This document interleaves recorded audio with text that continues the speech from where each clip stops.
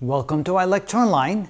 Here we're going to take advantage of the fact that we've already done three videos where we had a differential equation with constant coefficients that was not homogeneous, it was non-homogeneous, where we had each of these three functions as the function on the right side.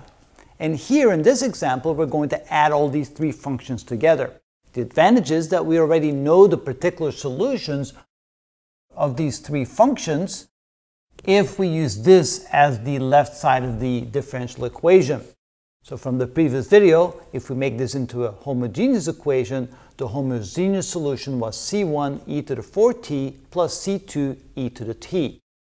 Then using the method of undetermined coefficients, we were able to find the particular solution for g1, the particular solution for G2, and the particular solution for G3. And here they are. You can go back to the other videos and remember, yes, those were the solutions that we came up with, and we showed you how to find these.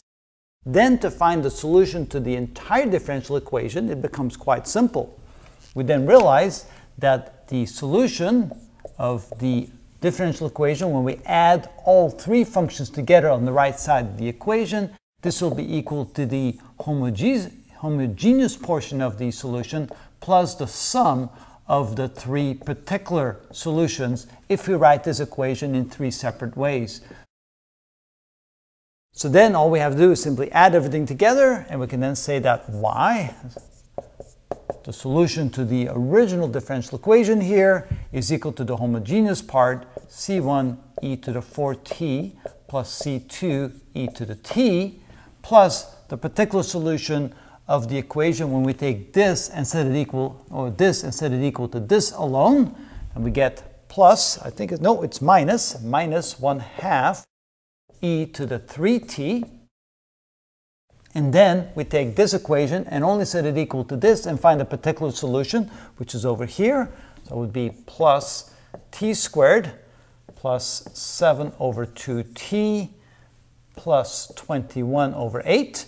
And finally, we take this portion of the equation and only set it equal to this and find the coefficients using the method of undetermined coefficients and we get this as the particular solution. So that would be minus 1 half times the sine of 2t and this then becomes the solution of what otherwise would look like a pretty mean equation. But again we can take it each separately we take this, set it equal to that, solve for the particular solution. Take this, this, set it equal to that, solve for the particular solution.